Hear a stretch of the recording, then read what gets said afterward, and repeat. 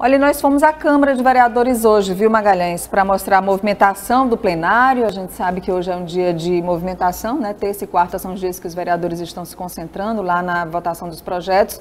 E também o Lucas fez a sondagem com os vereadores às vésperas da eleição. Como é que eles estão acompanhando essa expectativa?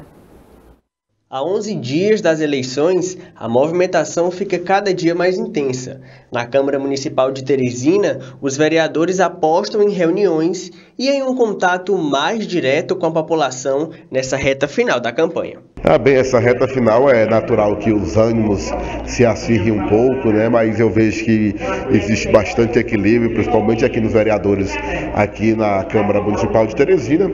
Eu acho que agora é o momento de cada um se empenhar o máximo possível, defender o nome dos seus candidatos, levar as suas propostas, né?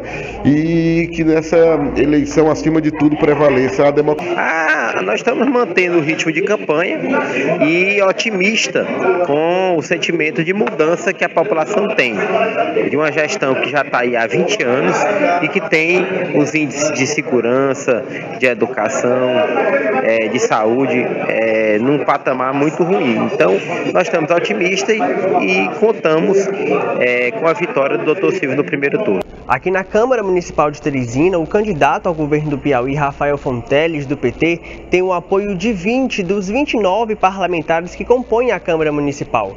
Apesar disso, para a oposição, é o sentimento de mudança que deve pesar na hora do voto. Deixa de um vereador ter seu peso, mas a gente tem que analisar até politicamente em relação a outras eleições. Nós tínhamos 22 vereadores apoiando o professor Cleber Montezuma para prefeito de Teresina e ele foi derrotado pelo pessoal que tinha cinco vereadores aqui da Câmara apoiando.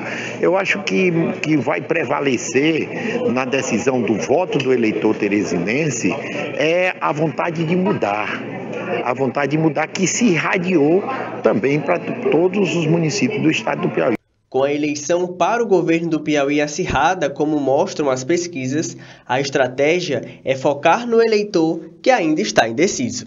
Salto alto agora é pegar esses últimos 11 dias, triplicar mais ainda a intensificação que nós queremos fazer para essa reta final, para pedir para todos, ainda existe muita gente que não definiu a sua votação, os seus votos, e aí a gente vai atrás desses que estão indecisos, para que a gente possa, Lula no primeiro turno no Brasil e Rafael no primeiro turno aqui São acirrados, está fazendo a, a, a, nossa parte, é, vamos fazer uma grande reunião amanhã, é, a Onda Azul, e é, continuar de forma ética, de forma propositiva, buscando o convencimento das pessoas, fazendo comparações. Essa é a maior estratégia dessa campanha.